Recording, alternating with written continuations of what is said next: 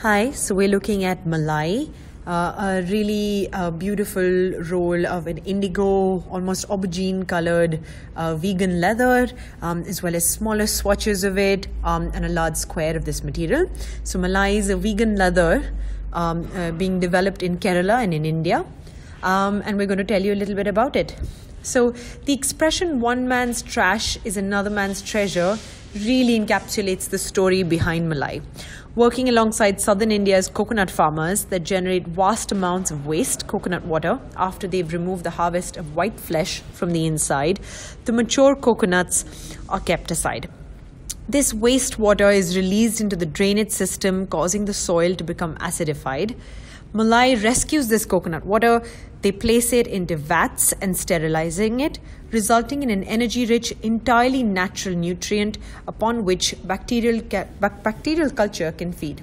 They combine the nutrients and the culture and then just let the bacteria grow.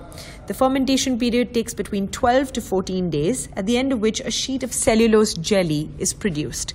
Once harvested, it is enriched with natural fibers, gums, and resins to create a more durable and flexible material, which may then be formed into large sheets in a range of thicknesses and textures or molded seamlessly into 3D structures.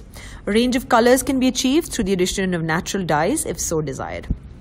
Malai is then left to air dry and then softened while applying a gentle bio based water resistant treatment. It can be cut with a sharp blade and is also suitable for laser cutting. Pieces of malai can be joined together in a similar fashion to leather using handmade or machine sewing and gluing. It can also be embossed and screen printed. When cut, the edges may fray, so it's recommended to seal them with applying wax, water based glue, or secure them with a single line of stitching. So, malai uh, has been applied in fashion and interiors as upholstery for bags, shoes. Um, it's really uh, caught on uh, with the veganism trend, uh, and it is PETA certified. It's, a, it's an incredible new material. Uh, its characteristics include being biodegradable, being vegan, uh, and it's a it's a viable leather alternative. Um, you can look them up at madefrommalai.com.